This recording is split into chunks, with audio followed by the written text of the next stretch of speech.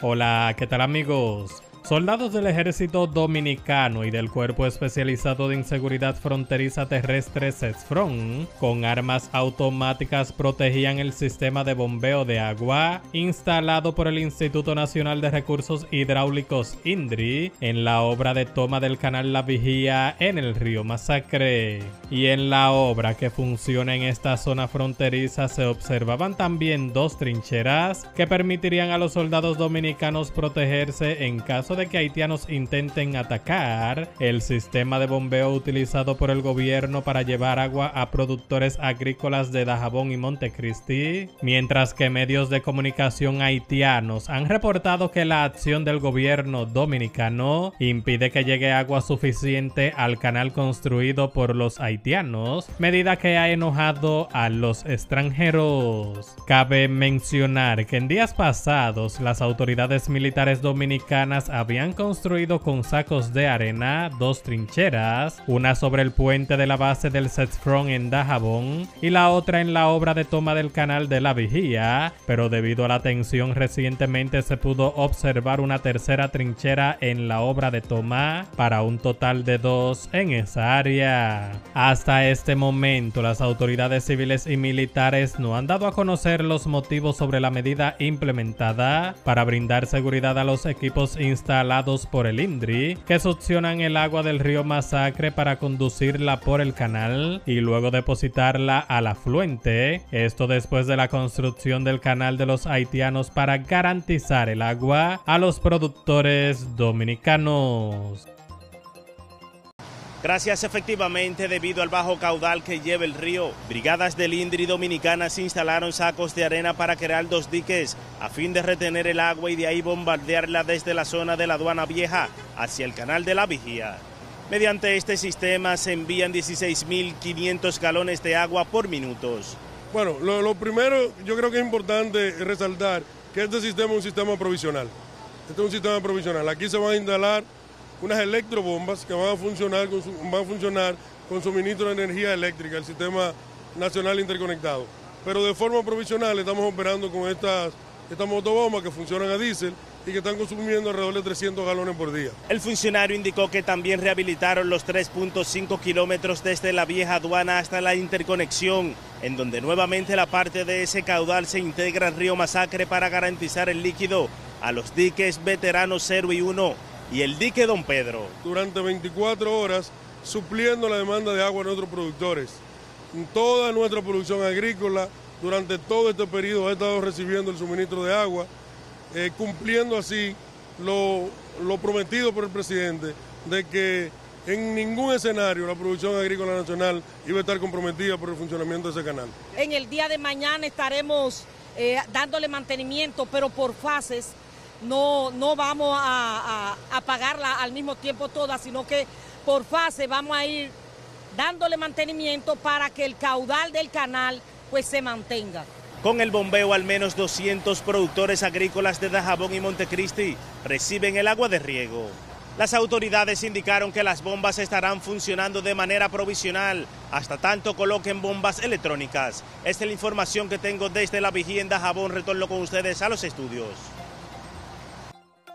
Ahora vamos a escuchar al abogado y comunicador Ricardo Nieves, pero antes respóndenos la siguiente pregunta. ¿Cree usted que el conflicto por el agua del río llevará a un enfrentamiento inminente entre ambos países? Déjanos tu opinión en los comentarios. Les estaremos leyendo. La otra información es la del canal sobre el río Masacre, no el río de Jabón.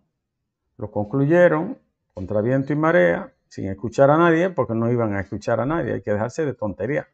No iban a escuchar a nadie porque es una decisión de las bandas.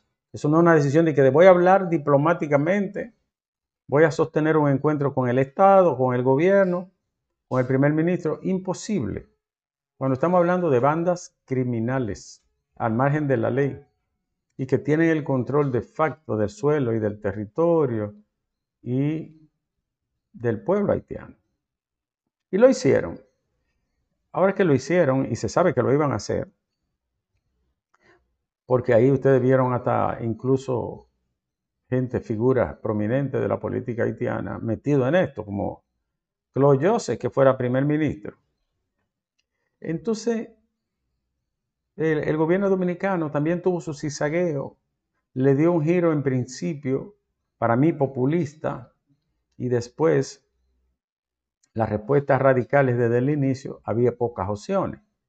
No es, no es, que ellos iban a entender, no es que ellos iban a sentarse, no es que ellos iban a paralizar el canal, no es verdad, eso no iba a pasar. Ahora, el, el, presidente y el gobierno dominicano tuvieron una serie de cizagueos que, que ellos se dieron cuenta que, que podían seguir porque no iba a haber forma de que el gobierno pudiera presionarlo. Y por eso siguieron.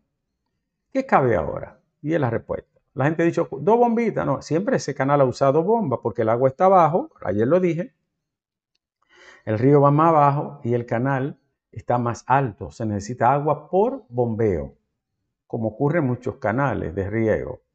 Ahora, el gobierno la prendió y sacó el agua y le va y tiene que garantizarle con el sistema de, de bombeo a través del canal de la vigía agua para los agricultores, para los ganaderos, para los productores que están tierras abajo. ¿Qué más puede hacer el, el gobierno? El gobierno tiene que dar en la mesa un puntillazo y, y decirle, estoy aquí. ¿Por qué? Porque este grupo de charlatanes y mequetrefes lo han hecho más por provocar al pueblo y al Estado dominicano que por una situación real. Lo han hecho por una provocación. Si hubiesen querido hacerlo de manera respetuosa, dialogada, diplomática, lo hacen basado en esos lineamientos. Se sientan, hacen una propuesta escrita. No, ellos empezaron. Al margen de la ley, al margen de los acuerdos, al margen del tratado de, del 29 y del 35 del siglo pasado, que e, es el que contiene más o menos lineamientos sobre las aguas compartidas, o no, más o menos lo contiene. Ellos no, no se llevaron de nada de eso, o sea, que ellos estaban dispuestos a hacer su canal y a desviar el río. El gobierno americano tiene que no solo usar el sistema de bomba, tiene que implementar una manera en que los agricultores dominicanos y el río en suelo dominicano no se afecten. Una manera que puede llegar hasta lo radical. Porque si usted se deja cada vez que ellos le dé comezón en las asilas, hacer lo que le dé su gana, un país que no tiene dirección, que no tiene control político de nada, usted está expuesto a estar permanentemente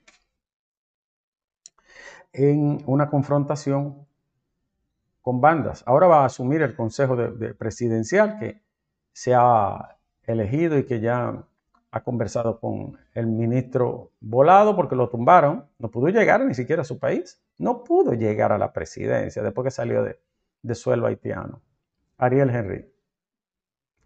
Y tuvo por lo menos mejor suerte que el pobre Moïse Juvenel, que a quien le quitaron la vida.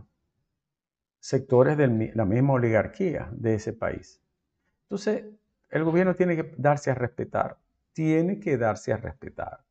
Yo no estoy diciendo eh, que, sea una salida bélica ni nada de eso, porque ¿con quién usted va a llevar esa salida? Además, quedan muchos canales por agotar todavía, pero el gobierno tiene que darse a respetar. Tiene que dar en la mesa y darse a respetar, porque nadie sabe hasta cuándo va a durar ese caos en ese país y esas bandas dirigiendo esa nación. ¿Quién sabe? Ese país incluso está expuesto a una guerra civil. Ahí puede darse una conflagración civil entre los diferentes sectores. Uno ni sabe qué puede ocurrir ahí. Entonces el gobierno tiene que darse a respetar. Esa es la palabra, lo subrayo, darse a respetar de esto. Y en otro orden, cada vez que pasan estas cosas, la gente siempre trata de sacarle filo político. El gobierno trata de sacarle filo político electoral en, en unas elecciones que están al doblar de la esquina y la oposición también hace críticas sacando filo político. Yo pienso en el país. Me importa el gobierno, me importa la oposición. Yo pienso en el país, en mi país, que va a seguir mañana después de Abinader, después de Leonel, después, después de Miguel, de Abel, el país va a seguir y continuará. Entonces, señores, este país tiene que plantarse. Es un problema mayor, es un problema serio. Eso no es una tontería. Tener ese problema al lado ahí sin solución, 204 años sin solución, sin un Estado, sin instituciones ni mínimas, viviendo de forma caótica y en la peor condición de miseria la mayoría, la mayoría. Es saliendo a correr el mundo, sobre todo a República Dominicana. Saliendo, nosotros tenemos que pensar bien en esto, porque es muy serio. A mí nadie me puede acusar de ser anti aquello, ni anti lo otro, ni pro aquello. Yo hablo con la razón que me permite, ¿no? Un mínimo de conocimiento de un estatus sumamente delicado para el país. Y cada vez peor porque cada vez la situación de ellos es peor. ¿Ustedes creen que este Consejo Presidencial tendrá salida? Yo no lo sé. Quiera Dios que la tenga. Quiera Dios que pueda encontrar el camino. Pero yo no tengo la fe de que eso sea así, porque ahí todo ha sido caos, desorden, derrumbe, golpes. Miren quiénes son los líderes de ese país. El líder de una banda criminal llamado de que eh, Cheresier, eh, eh, qué sé yo, cómo le llaman, Barbecue. Y el otro líder del país, Guy condenado por narcotráfico, golpista y delincuente también. porque esos son los líderes que sacan la cabeza. Entonces, ¿cómo, cómo te puede hablar de Estado en una situación como esta? estar ojo visor y muy preparados. Bueno, más noticias de, este día. Abinader dijo que, eh, eh, perdón, Leonel Fernández criticó a Abinader y dijo que no actuó como un estadista y que manejó mal la situación del canal. Yo creo que hubo cosas que no fueron correctas, eso es verdad. Pero yo, yo no sé qué diferente hubiese hecho otro. Dialogar con la banda, sentarse a hablar con estos bandoleros.